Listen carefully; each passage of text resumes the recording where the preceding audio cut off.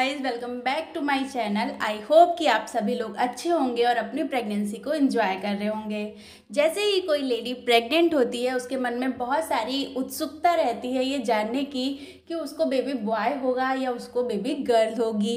ये सिर्फ़ pregnant lady के नहीं, उसके हस्बैंड के, उसके फैमिली मेंबर्स के, उसके रिलेटिव्स के सबके मन में ये रहता है कि क्या होने वाला है। और सब लोग ये गैस भी करते हैं, बहुत सारे लोग अनुमान लगाने की कोशिश करते हैं प्रेग्नेंट लेडी को देख के, उसके सिम्टम्स को देख के कि क्या होगा। तो, तो इस वीडियो में हम जानेंगे वो दस सिम्टम्स के बारे में जो कि बहुत कॉमन है बहुत बार आप सुनेंगी भी उनको तो उन्हीं के सिम्टम्स के बारे में हम जानेंगे। तो चलिए विदाउट डिले वीडियो स्टार्ट करते हैं। वीडियो यूज़फुल लगे तो प्लीज़ वीडियो को लाइक ज़रूर करना। मेरे चैनल को सब्सक्राइब अगर आप पहली बार वीडियो देख रहे हैं मेरे चैनल पर तो तो अगर हम बात करें पहले सिम्टम के बारे में तो ऐसा बहुत बार बोला जाता है कि अगर आपने बेबी गर्ल कंसीव की है तो आपकी जो सुंदरता है वो और ज़्यादा बढ़ जाती है, आपकी स्किन पे ग्लो ज़्यादा बढ़ जाता है।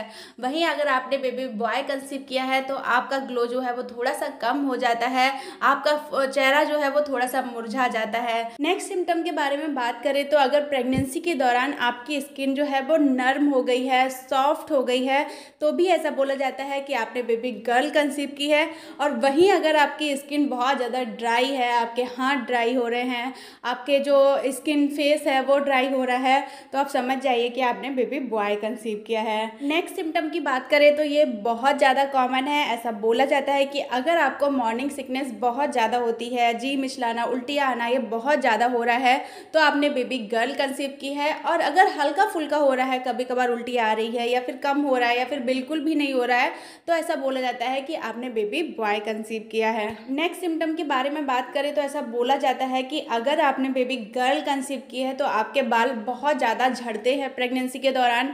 और अगर आपने बेबी बॉय कंसीव किया है तो आपके बाल बहुत अच्छे हो जाते हैं, घने हो जाते हैं, लंबे हो जाते हैं सिल्की हो जाते हैं, ऐसा बोला जाता है। और मेरे साथ में ये बिल्कुल ठीक था। मेरे, मैंने बेबी बॉय कंसीव किया था और मेरे बाल प्रेगनेंसी के दौरान बहुत अच्छे हो गए थे, जबकि मेरे बाल पहले उतने अच्छे नहीं थे जितना प्रेगनेंसी में हो गए थे। लेकिन प्रेगनेंसी के बाद बेबी होने के बाद बहुत बाल झड़े हैं मेरे। नेक्स्ट सिम्टम के बारे में बात करें तो ऐसा बोला जाता है कि अगर आपकी जो थाइज है, उनके पास चर्बी बहुत ज़्यादा हो रही है, कूलों के पास चर्बी बहुत ज़्यादा हो रही है, फैट जमा हो रहा है तो आपने बेबी गर्ल कंसीव की है और अगर ऐसा नहीं हो रहा है, आपके बॉडी में ज़्यादा फैट नहीं हो रहा है तो आपने बेबी बॉय कंसीव किया है। ऐसा देखा भी जाता है, जो लोग बेबी बॉय को जन्म देती हैं, वो थोड़ा पतली दुबली रहती हैं, ज़्यादा फैट गेन नहीं करती है, लेकिन जिनने बेबी गर्ल कंसीव किया होता है है, वो बहुत ज़्यादा वेट गेन कर लेती हैं, फिर बहुत ज़्यादा फैट आ जाता है। नेक्स्ट सिम्टम के बारे में बात करें तो ऐसा बोला जाता है कि पेट के आकार को देख के ईजिली आप जान सकते हैं कि ईजी अनुमान लगा सकते हैं कि क्या होने वाला है। तो ऐसा बोला जाता है कि अगर आपका पेट आगे की तरफ़ बढ़ रहा है मतलब सामने की तरफ़ बड़ा हो रहा है तो बेबी गर्ल कंसीव की है और अगर आपका पेट चारों तरफ़ फैल रहा है, बिल्कुल अंडाकार शेप में है तो आपने बेबी बॉय कंसीव किया है। नेक्स्ट सिम्टम के बारे में बात करें तो क्रेविंग के बारे में होता है है और ऐसा बहुत बोला जाता है कि अगर आपने बेबी गर्ल कंसीव की है तो आपका मीठा खाने का बहुत ज़्यादा मन करता है और वहीं अगर आपने बेबी बॉय कंसीव किया है तो आपका तीखा या खट्टा इस तरीके का खाने का मन करता है। लेकिन मेरे साथ में ऐसा नहीं था, मैंने बेबी बॉय कंसीव किया था और मैंने पूरी प्रेगनेंसी बहुत मीठा खाया है। तो मीठा खा के जब मैं खाती थी, लोग बोलते थे कि बेबी गर्ल होगी, लेकिन ऐसा नहीं हुआ। नेक्स्ट सिम्टम के बारे में बात करें तो ऐसा बोला जाता है कि अगर आपको कम भूख लगती है प्रेगनेंसी में, ये कुछ खाने का इच्छा नहीं करता है तो ऐसा बोला जाता है कि आपने बेबी गर्ल कंसीव की है और अगर आपको बहुत भूख लगती है थोड़ी थोड़ी देर में आपको खाने का मन करता है तो आपने बेबी बॉय कंसीव किया है। क्योंकि ऐसा बोला जाता है बेबी बॉय जो होते हैं, वो माँ से ज़्यादा एनर्जी लेते हैं, इसलिए भूख थोड़ी थोड़ी देर में लगती रहती है। ऐसा भी बोला जाता है कि अगर आपकी प्रेगनेंसी गर्मियों में हुई है, आपने कंसीव गर्मियों में किया है तो वो बेबी गर्ल होगी और ठंडों में अगर कंसीव किया है तो वो बेबी बॉय होगा।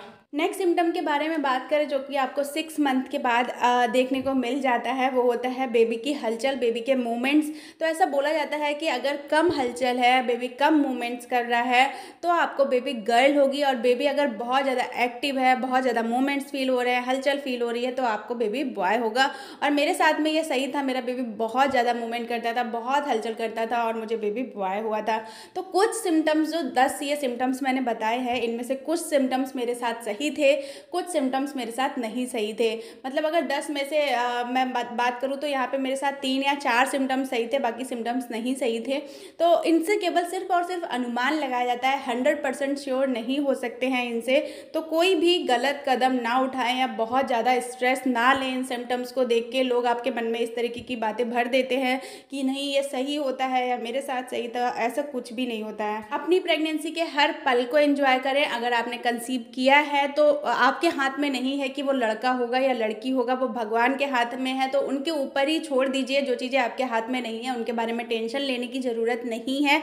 आई होप कि वीडियो आपके लिए यूज़फुल रहा होगा, वीडियो यूज़फुल रहा हो तो प्लीज़ वीडियो को लाइक ज़रूर करें। मेरे चैनल को सब्सक्राइब ऐसी बहुत सारी प्रेगनेंसी से रिलेटेड वीडियोज़ देखने के लिए। Thank you thank you so much for watching thank you